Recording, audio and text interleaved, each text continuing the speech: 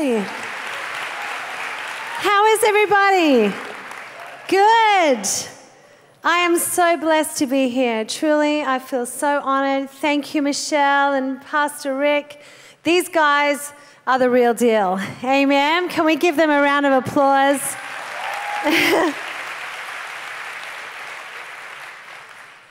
Mark and I and our daughter Zoe got in on Wednesday night from Australia, and um, we just felt really felt in God that we were supposed to be here with you, and I'm just so glad we have had the best time. I want to give you a little greeting from my family back at home. Oh, I love my family. I've got a little photo of them. They're so cute. Okay, my husband and I, and that's Chloe and her husband Hosanna. He's Cambodian. We have little Ava Pearl, who is now seven, Zoe Jewel, who is tall. I've got to stop feeding her. Ruthie Feather is the baby that is crying. She's either crying or super happy, nothing in the middle. That's Andrew, our son in love, and Amy, our eldest daughter, Roman, Emmanuel, Mark Hood, our only grandson. And now that photo was like two years old. So seven months ago, the next photo is Thea May Siv, our first Asian baby. Yes! Yes! We, oh, she's so cute. Anyway, I was just talking to them all, and they're so happy, and they're like, they're like my own children. They just say, What are you bringing us? No one says they miss me. They're like, So what presents do you have? So everything is healthy and well in Jesus' name. Father, thank you. Thank you that we can come boldly and worship tonight. Thank you that you are a God that is a God that can be experienced, not just talked about or known about or not just head knowledge, but you can be fully experienced. And we thank you for that. Holy Spirit, we just say you are welcome in this place. You are here with us now, we know it. Thank you for every woman here. No one is here by chance, everybody is here on assignment by you, Father, and I thank you for that. We just give you the entirety of this night. I pray that my thinking won't get in the way of what you would want to say tonight, Holy Spirit. We love you, Lord God, in Jesus' name. And everybody said, Amen. Amen. Well, I'm blessed. My life, I'm sure, just like yours, has been filled with ups and downs. But after finding Christ at 15, becoming a Christian, I was living out of home at 15. My family had gone through a terrible time and um, through a series, series of unfortunate events. I found myself living um, in a renting a room at the back of a single mum's home near a church. My father, who was a backslidden Christian at the time, came to Christ hallelujah, came and picked me up one night and said, honey, I want to take you to youth group. At that, in those days, it was called Royal Rangers. I don't know if you have Royal Rangers here, but I went to Royal Rangers going, what in the world are these people? They were tying knots, and I'm like doing camping and things like that. But anyway, at the end of the night, they made an appeal and they said, There is one who will love you more than any of your faults or mistakes. And there is one who will love you to life, to a life that you could only ever dream about, and who will forgive you of all your sin. And my little heart, I still remember it from this day as if it was yesterday. My life was radically turned around by the love of God. And I, there was two of us that night, ran down the front. We said yes to Christ. And I've got to tell you, my life has never been the same. I've always known since that day that there was a way through, whatever challenge may come my way. I know God's presence and power. I've learned in worship to be immovable in what I see in the natural and to declare and announce what I know. I know in worship how to announce and declare that God is here. Amen. I'm married to a man who is faithful to me and to our children and to God's promises over our lives. And as you see in our picture, you know, that's us on our best day. Everyone has Instagram photos, right? Us on our best days and all the days in between. I'm just so thankful to God for my family that mean everything to me and to local church. Um, we now pastor a church called Hope Unlimited Church, Hope UC. And that's a long story how God called us out of Hillsong Church. People thought we were crazy. Actually, we thought we were crazy. But you've got to obey God, right? And now part of a global church family like you, who I adore and admire, and I'm so thankful for.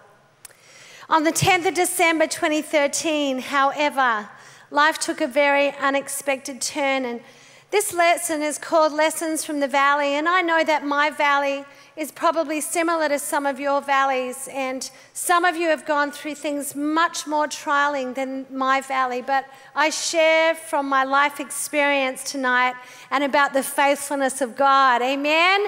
Is anyone here thankful for the faithfulness of God? Yes? oh my goodness.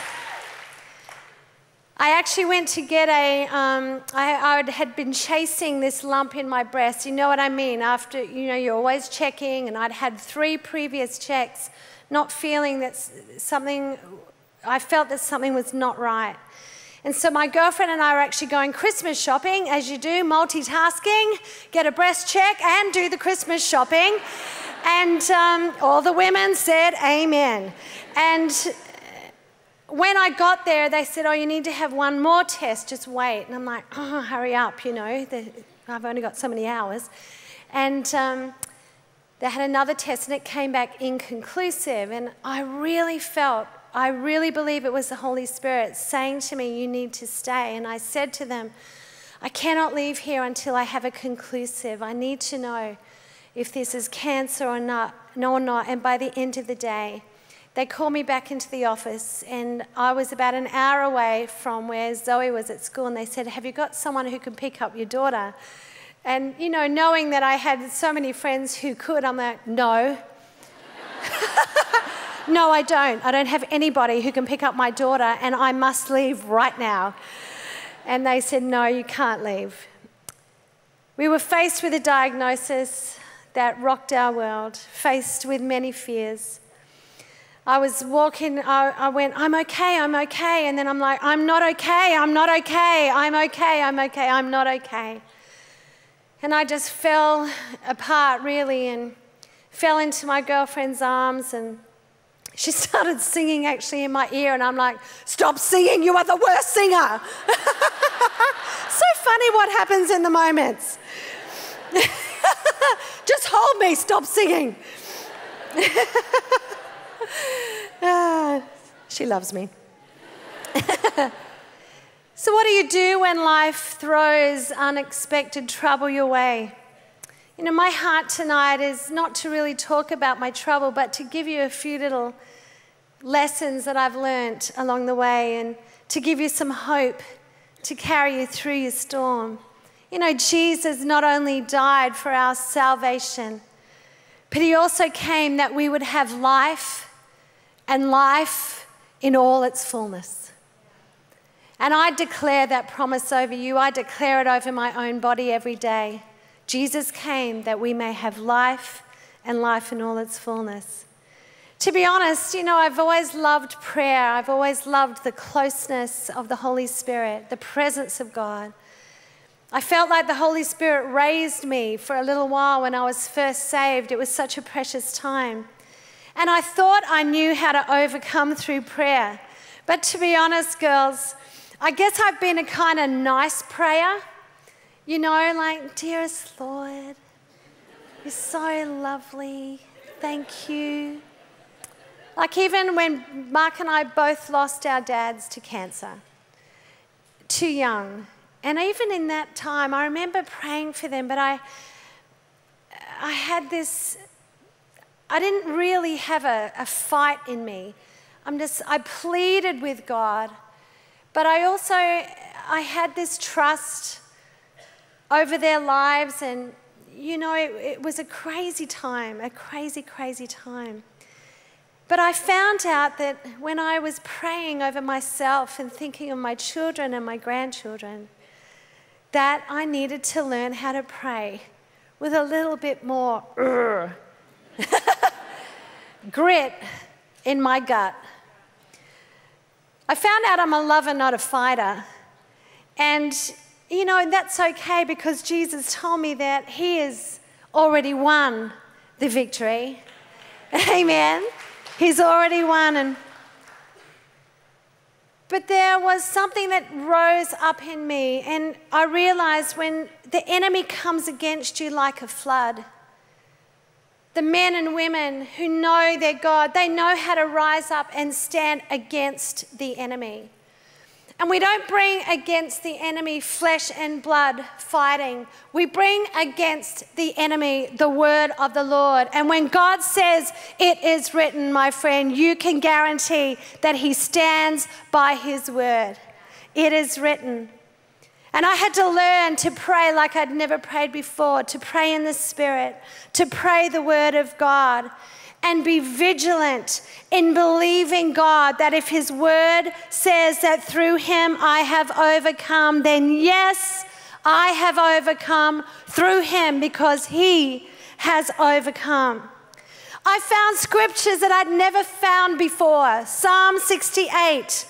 But God will smash the heads of the enemies. I'm like, what? That is so wicked. That is so big and bloody and awful. But God's like, no, I have the enemy under my feet. You can rest, you can breathe, girl, you can breathe. He says he crushes the skulls of those who love their guilty ways. I've got to tell you, I found this quite confronting. My beautiful shepherd king also likes to crush heads. Hallelujah. This is good news. Can I hear a cheer? this is good news. I love this scripture. The Lord says, and I will bring down my enemies. I love that. I will bring them up from the depths of the sea, for you, my people, will wash your feet in their blood.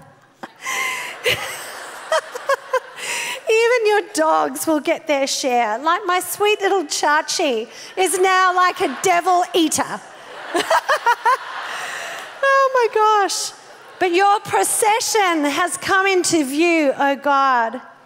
The procession of my God and my King as he goes into the sanctuary. Singers in front, musicians behind, just like we saw tonight. Between them are the young women playing tambourines. Where are you, my Salvation Army friends? Playing tambourines. I love you. You're amazing. Praise God. Praise God. This is an amazing picture. It's a confronting picture, but it's a picture full of hope of God triumphing over his enemies and celebrating all the way home. Amen. So, a few lessons that I've learned along the way. First lesson came quickly.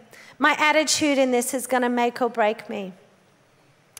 We all have the same opportunity to choose our attitude. It's not that you don't have bad days, but actually, I found myself easily this sense of blame. Why didn't someone find this sooner? I've been at so many doctors. I, I could have got angry. I could start to blame people for not finding it sooner, or, or, oh, there's an or, making a choice. Or I can do right well. I can do well right now, sorry, jet lag brain, with the information that I now have. So when I went into hospital on the Monday before Christmas, I was feeling scared and yet, I was feeling full of peace at the same time. And this is the peace available to the sons and the daughters of the living God, the peace that passes all understanding. And I found that right in the middle of my shadow, valley of the shadow of death, the valley of the shadow of death, God showed me it's the shadow of death. For there to be shadow, there's got to be light. So, in your valley of the shadow of death, the light of God is still there with you, baby. He's still with you, baby. Psalm 23 God, my shepherd, I don't need a thing. You've bedded me down in lush meadows. You find me quiet pools to drink from, and true to your word, you let me catch my breath and you send me in the right direction. And even the, when the way goes through Death Valley, I'm not afraid when you walk at my side. The Holy Spirit began to speak to my heart. What do you believe? To find your attitude, girls, you've got to know what you believe. I found myself saying, God, you know what I believe. I believe you. I believe your word, your promise, blah. I was really super Christian to God. I was. And then I felt him whisper to me, But do you believe that I love you? Daughter, I love you with an everlasting love. This has been a deepening, beautiful revelation in my heart. I've always known that I've been loved by God. But to be honest, cancer doesn't feel like love. And I had to really look at the scripture from a different point of view. Romans 8, as we've already seen tonight, for I am persuaded neither death nor life nor angels or principalities or powers, nor things present or things to come, nor height nor depth, nor any other created thing is able to separate us from the love of God, which is in Christ Jesus. Nothing, nothing, nothing can separate us. No thing. What's come against you? What trial are you walking through? Can I tell you, no thing can separate you from the love of God. No weapon, no accusation, no fear, no intimidation, no past failings or even future glory, no disappointment, no setback, no thing. It's incredible to me. At the very beginning of Jesus' ministry, God Himself says to him, This, He kind of says to the world, This is my beloved Son my beloved, my loved, the Son of my heart, the beloved Son, in whom I am well pleased. He establishes his love for him, he establishes his identity. And then the enemy immediately tries to corrode that identity, to gnaw away at trust, birthed out of love that the Father had for the Son. And the enemy works the same way today. So, my next lesson is this. My first one was my attitude. My second one was formed by this we are completely loved. Completely loved. You go, oh, that's not a very good point. Well, it is if you don't feel loved. You are completely loved.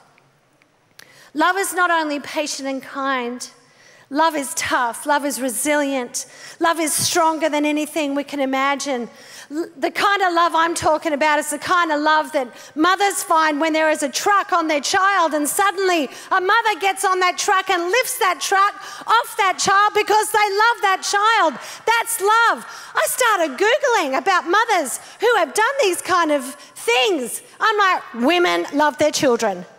Oh my gosh, women are amazing. Seriously. God loves us. Jesus loves us regardless of whether we feel it or know it. I think about the love that God has for us, how his love held Jesus to the cross. His love held him there for you and I.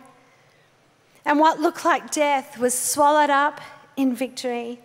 Jesus is our ultimate example of love of taking mourning, turning it into dancing, sorrow into joy, beauty for ashes. There is nothing in your life right now that God won't turn into good if you simply love and trust Him.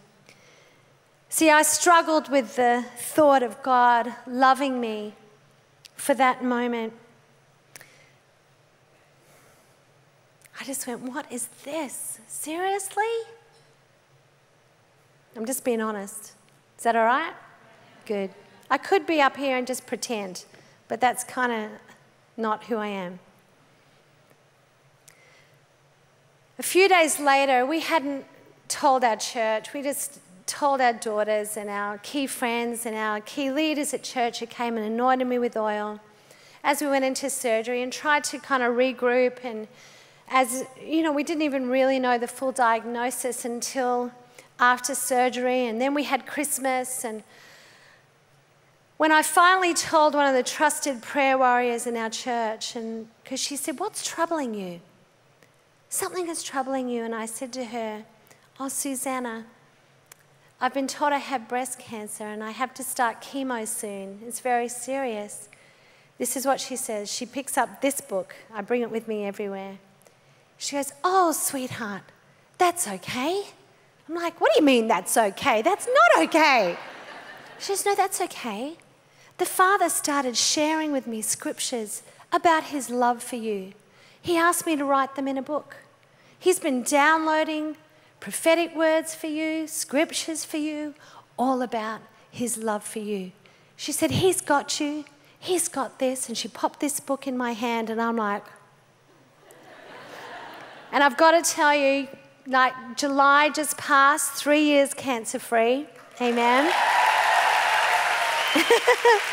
it's too good. It's just too good. But it's not many days go by that I don't find myself picking up my book, just reading the words of the Lord over myself. When I have pain in my body due to medication that I take, I read these prophetic words over my body and I remind my body who it belongs to and that I am loved completely in Jesus' name. Amen. Amen. Oh, somehow I went right to the end of my message. Hang on, let me find it.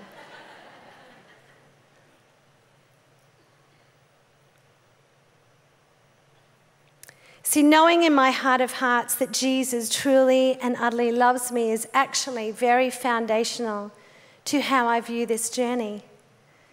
He did not bring this sickness upon me.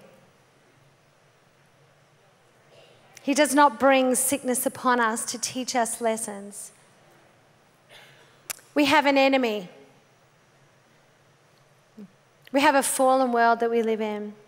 He does not bring this sickness upon me, but he has allowed it. And therefore, because I know that He loves me, I can trust Him with the journey. God's got it. God's got me. He's got my family. He knows because He loves me. Amen. He loves you. The same applies to you. Third lesson make room in your heart. What does this mean? God said to me, Make room in your heart and as I waited on God, He started to show me that there was people in my heart that I really needed to forgive. I'm like, what? I thought I was good with that. I'm easy. I kind of, I have a good forgettery as well as a good forgivery. I'm quick to forgive and I kind of forget. Some people say to me, I'm so sorry about that thing I said, and I'm thinking, I don't remember. it's a blessing. It's a blessing. But he said, No, there's people you need to forgive. There's a declutter needed in your soul. So Jesus and I went on this long journey, weeping, just talking to him about things in my heart, things from when I was a child, even that he just said, You just need to let that go and give it to me.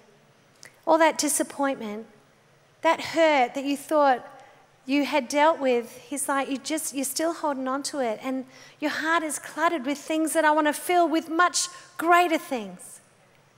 Girls, forgiveness is, is freedom. Unforgiveness is bondage. And I really encourage you go on the journey with Jesus. He's a gentle shepherd when he's talking about his kids. He's that skull crusher when something comes against his kids. But when he's walking with his kids, he's a good, good father.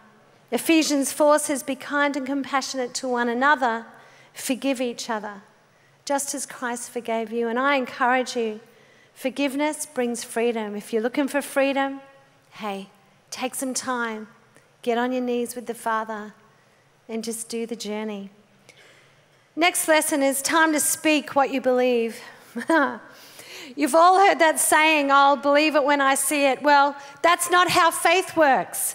Hebrews 11 says, Now faith is being sure of what we hope for and certain of what we do not see. Huh. What are you certain of, even when you do not, do not see it?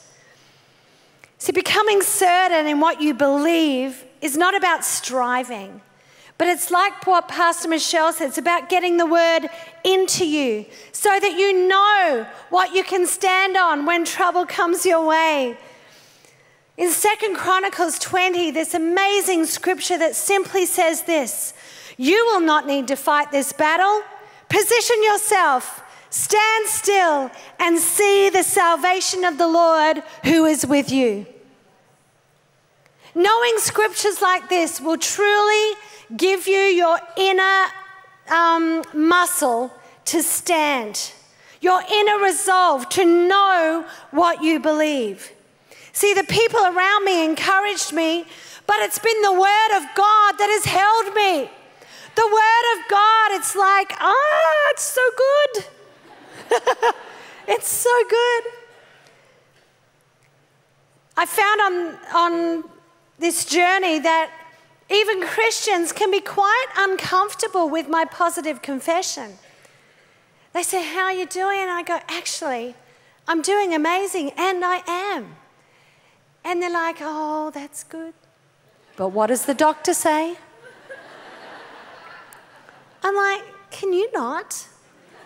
Can you come with me and just stand with me? Stand with me and declare and believe God with me. Oh, so much I could say. In Job 23, we see Job, he knew the God whom he served. In verse 8, you sense that he can't feel God. But even though he can't feel God, he clings to what he knows. And this is what we've got to learn, church, is when storms come our way, we've got to cling to the truth and not bow to facts. We've got to cling to the truth, to the name that is above every other name, including divorce and cancer and poverty. We've got to cling to the name of Jesus. Amen. Job says, I go east, but he's not there. I go west. I can't find him. I don't see him in the north. He's hidden. I look to the south, but he's concealed. Oh, but he knows where I'm going. He, and when he tests me, I'll come out pure as gold. I've stayed on God's path. I have followed his ways and not turned aside. I have not departed from his commands, but I treasure his words more than daily food. He's a man who knew what he believed. It's not simply the power of positive thinking, it's speaking the truth over facts, declaring life over death in Jesus' name. In a world, church, that is grasping for hope. You can feel like the breathlessness in the air as people are gasping for some sense of hope. We've got to remember we are carriers of hope. This hope we have is the anchor for our soul. And everyone said, Amen, Amen. You know, I've refused to Google my diagnosis. My children and my husband made sure of that. Refused to fill my mind with the what ifs. Refused to allow everyone's stories of people they knew that had done the cancer journey that had passed away. What is that about? So when someone is still alive, can you not go up to them and go, Oh, my auntie had that? And you're like, Oh, how's she doing? Oh, no, no, no. Not helpful. Not helpful. Build faith. Build faith. Come on, girls. Come on. Know what you believe. I need to soak in the words He has given to me.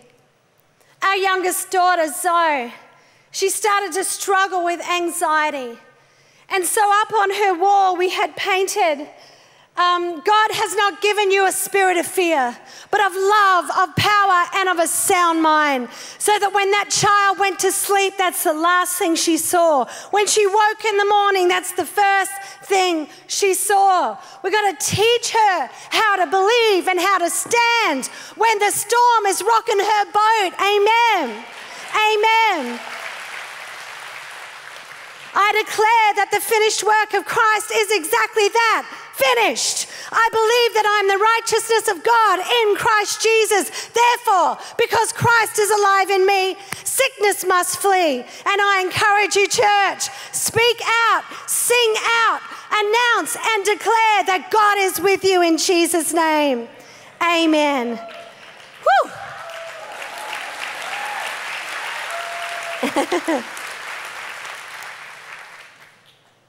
Another thing, I guess for most of you, this is kind of normal, but I'll just say this who you have around you in a crisis is really important.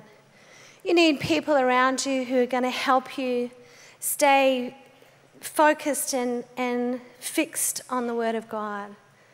You know, I, I offended some people while I was unwell, um, but that's okay I had to kind of really be very careful of the atmosphere around myself and my children. Um, when people started to pray over me, and at first, my niceness, I'd go, I'd just listen, and they'd go, Oh God, if it's your will that my sister lives. I'm going, Oh my gosh. At first, I'd just go, Here we go. Then my husband, it actually really affected me. And my husband said to me, honey, when people start to pray those prayers, I want you to find your voice and I want you to say, stop right there. I became very Spice Girls. Stop right now. Thank you very much. Very Spice Girls, my friends. but you know, you've got to learn to protect your atmosphere. If it's your friend going through a trial, protect the Word of God around them and in and through them. You know, who you have around you in a crisis is really, really important. The Word of God became my best friend and is my best friend. In fact, actually, one of my best friends one night flew down from um, another state and jumped into bed with me and made me listen to You Make Me Brave 1,000 times so that I could do that last chemo because I was like, I can't do it. And she's like, You will do it. And you'll lie in this bed and listen to this song. We'll turn it louder and sing it over and over until that worship is louder than your fears. So here we go. Now, that is a good friend. Amen. That is a good friend. oh, my Lord. But I did it, and He did make me brave. Just Jesus. Psalm 91 is like my best friend. he who dwells in the secret place of the Most High shall abide under the shadow of the Almighty. So good. The last verse in that says, With long life I will satisfy him and show him my salvation. Thank you, Jesus. Another lesson kindness is the new black. Kindness is invaluable when you are in need. You guys are so kind. Seriously, you are the kindest church on the planet. I would say you're all just so, oh, honey, bless you. You're so beautiful. I'm like, I just want to take you all home. You're so lovely. But I want to tell you this kindness is a fruit of the Spirit. The Word of God tells us that they, the world, will know us not by our theology, not by our placards, but the world will know us by our love. Kindness shouts. Kindness says you matter. Kindness says you are seen. Kindness says I will take the time to stand with you and listen to you. Kindness says, like I ask everyone now, can I pray for you? I don't care who, where they're from. I pray with everyone in the shopping centre. I'm just the, I just pray now because I, I see it in people's eyes and they start to talk and open up and I just go, do you want me to pray for you? And they're like, would you? It's just taking a moment. Kindness takes time. I've got loads of stories of people that were just kind. Martin Smith, our dear friend, jumped on a plane from England and just came and stayed with us and sang over our church and walked with my husband and talked about the things that only mates can talk about when their wife is really sick. Hugged our kids. I mean, that is kindness. And the world looks on and sees. And they know us by our kindness, church. Let's be kind. Kindness is a fruit of the Spirit, it's not a personality trait. It's a fruit of the Spirit. When you need to be kind, you will find the anointing to be kind. Anointing simply means being smeared with His ability. Amen. Another lesson was just this great hair is not everything. I gave the girls some pictures of not bald, but me in a beanie. Um, and just, it, oh, I was leading worship. That was my wig, Betty. And I just, that was Betty, in my wig. And I used to say, um, I hope I don't get sweaty. And in a, in a head move, it just flies. like, just, I would be fine, but how embarrassing for the poor person that it would land on. Anyway, yeah, there we go. My beautiful Ruthie Feather. Oh, sweet child. Last day of chemo, that was my daughter who put roses all across my car. I know, it was, it was a tough season. But you know, after my hair started falling out, and it was time to shave it off, and it fully just seemed cruel. Although later I said to Mark, I am so glad that I'm not, you don't have to be so sick and do your hair. so there is, you know, a golden side to that story. But here's the thing I want to tell you about that is now I just worry less about those kind of things. You know, I, I take this medicine now that I have to take for 10 years, and it gives you a lot of pain and um, it bloats you up. But you know what? I just now, I just couldn't care less. I'm just like, no, I, that's awesome. I'm here. My husband thinks there's more of me to love, so hallelujah. and, but why I'm telling you that is I think there's probably women here today. There are things that you're unhappy about and you're worried about what you're wearing and who you're going to sit with, and no one spoke to me, and, and then you feel inadequate. And can I tell you today, please don't wish away your days over the silly things.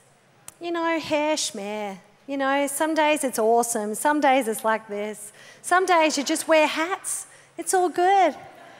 It, you know, we can, you can buy nice things to wear for five bucks. You can go down at the thrift store and get amazing things. My daughters are teaching me all my new tricks. It's so good. It, you don't have to spend a lot of money. You don't compare yourself. It's like, let, get in the lane of your life. Get before God and say, God, I'm just going to walk in my lane for you. Start loving the women around you. And I guarantee you're going to find yourself a whole lot more fulfilled in Jesus' name. If the team can come. Another little thing encouragement is life. Do you know sometimes does, you don't know what to say to people? Maybe they've lost a child. Maybe they've prayed and the thing they prayed wouldn't happen has happened and you don't know what to say. Do you know, when I went into radiation, oh, so many good God things to tell you, but anyway. Oh, that was so nice. Isn't he amazing? oh, you're so cool. Just like, bring.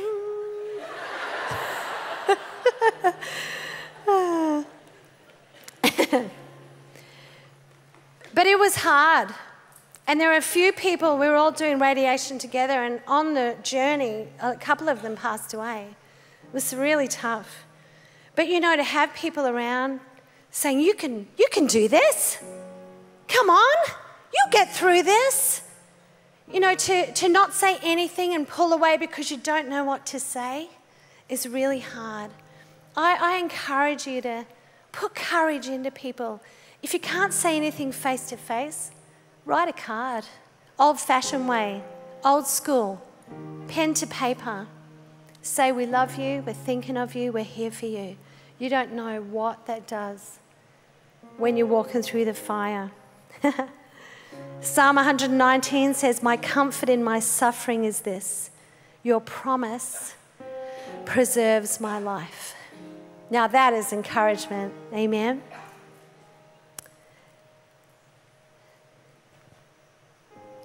Live with intention is another thing.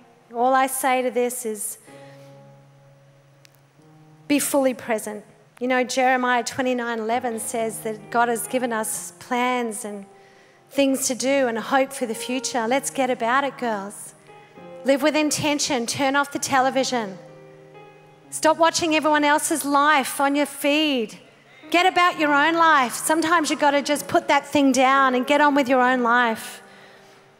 And the last thing, which is my favorite thing to say God's presence is everything. Everything. Do you know, without His presence, I just don't know how I would have done, how I would have worked this, walked this journey. It seems so dark at times, but the darkness doesn't scare him. He just lights it up with his abiding presence, his atmosphere changing, love, life giving presence. See, I've learned from a young age that truthful worship truly does change everything. As I said, when I had no words, and still sometimes when I have no words, I just turn up that worship and allow those words give me words to say. He carries us, my friend. My, my friend Alicia Britt Chole says this To worship in the light is a joy filled act of faith. To worship in the dark is a faith fueled act of war. Sometimes, girls, you just got to worship, for God is with you. I played worship wherever I could, whenever I could, as long as my girlfriend wasn't singing it in my ear. and I led worship whenever I felt well enough. I wanted worship leaders around me not to tell me, spend five minutes before a song telling me how they feel about this next song. I said to our worship leaders at church, please don't speak, just sing. Just lead us in worship. Can you please? And if you're going to speak, can you say something that's going to radically lift my heart toward heaven? In Jesus' name. Psalm 59 16 says, I will sing of your strength. I will sing aloud of your steadfast love in the morning. For you have been to me a fortress and a refuge in the day of my distress. See, the song of the Lord is being heralded across the planet like never before. And we cannot just wait for all our circumstances to be right to sing and to worship. We've got to learn how to stand by faith and to declare the word of the Lord. And it's so beautiful that the song of God often gives you the ability to speak out what is very hard to speak without the melody. I encourage you, women, and I encourage you, men in the room who are so awesome, to stand whenever you can and worship Jesus. Worship Jesus. I want to finish by saying this. Firstly, if you need healing in your body, I want you to stand to your feet right now. I just feel that there is a anointing here right now that you're going to be healed in this place. And that's nothing that I can do, but I just know that God is here. Amen, girls? If you are standing to your feet, I want you to lift your hands before heaven. Hallelujah. Father God, right now, if you've got someone standing near you, can you just gently place your hand on them? The Bible says, lay hands on the sick and they will recover in Jesus' name. Thank you, Father.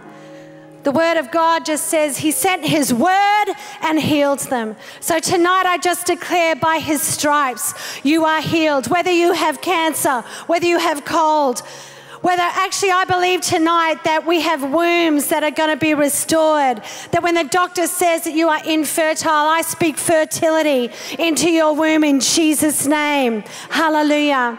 Thank you, Father. We thank you that when you said it is finished, that's exactly what you meant.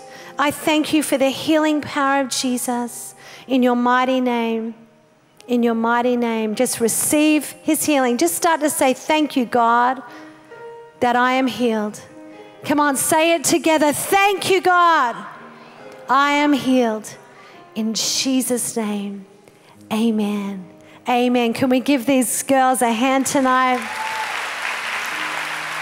Amen. Amen. And in closing,